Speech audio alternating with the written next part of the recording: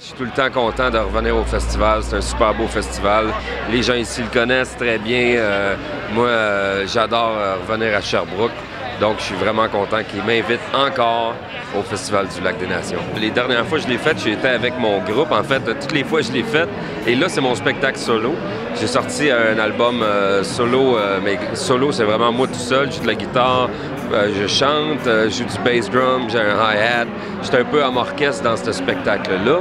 Et c'est le spectacle d'un nouvel album qui est sorti il y a deux semaines qui s'appelle Solo Recordings Volume 1. Euh, en fait, c'est un, peu un retour au blues pour moi parce que je me suis fait connaître plus dans le blues. Puis depuis une douzaine d'années, j'étais pas mal plus rock and roll. Et puis là, euh, c'est un album qui est beaucoup plus blues. Euh, il y a quand même du rock, un petit peu de folk, un petit peu de country, mais c'est vraiment un retour au blues.